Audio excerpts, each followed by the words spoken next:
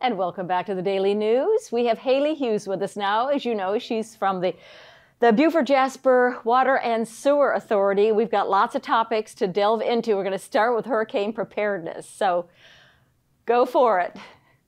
All right. Well, we want to remind customers that hurricane season lasts until November 30th. And I'm going to give you some good tips on how to prepare for a hurricane and what to do in the event of an evacuation. Okay. But first things first. Yes. Please visit the South Carolina Emergency Management Division's website and find out what your evacuation zone is. Secondly, they also have a really good resource, their annual hurricane guide. It's going to give you tips on how to prepare an emergency kit should you need to evacuate. We also want to make sure that you call our office and give us your mobile telephone number. That will help you stay in touch with us if we okay. need to reach you if you're out of the area. Okay, very All good. right, so moving on. In the event of an evacuation, hopefully that won't happen. We should have a uh, a quiet hurricane season, hopefully. but um, in the event of an evacuation, you'll need to shut off the water to your house using your main shut off valve. If you have an older home, that's probably going to be in your yard and you'll need um, a special tool to shut that valve off. If you have a newer home, it's probably going to be somewhere inside your house, close to your water heater, probably.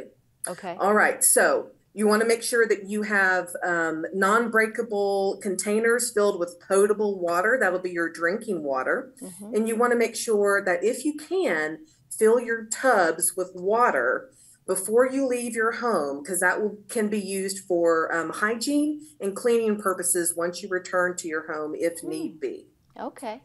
You want to make sure that if you do evacuate, you stay tuned um, to our website and our social media channels because we can give you updates on when it is safe to come back and what service disruptions there may be happening um, once you do come back. Very good. We want to assure you that in the event of an evacuation, we always have a stay behind crew that will make sure that water and sewer operations continue as they should. But if there is an evacuation and you come back, there may be some service disruptions. There may be some discolored water. There may be some water shutdowns, and we just ask that you um, be patient with us if that if that should happen.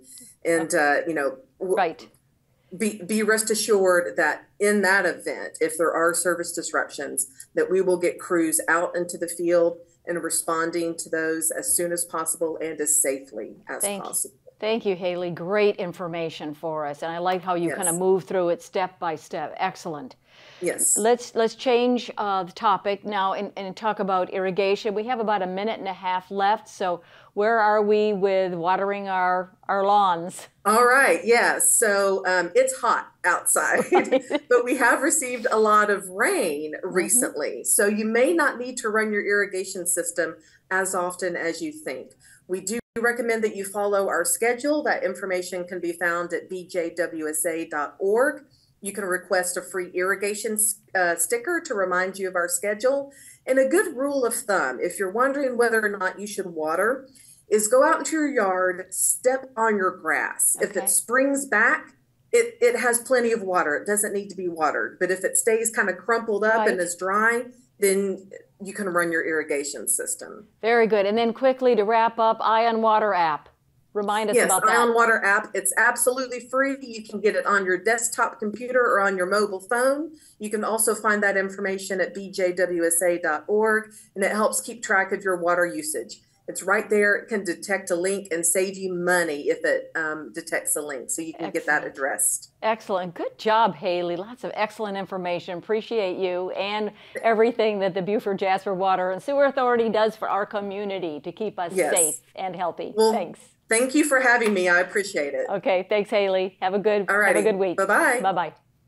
Coming up after the break, Walter Wheeler will join us. He's with Heroes of the Low Country. He'll be talking about scholarships for local students. Stay tuned.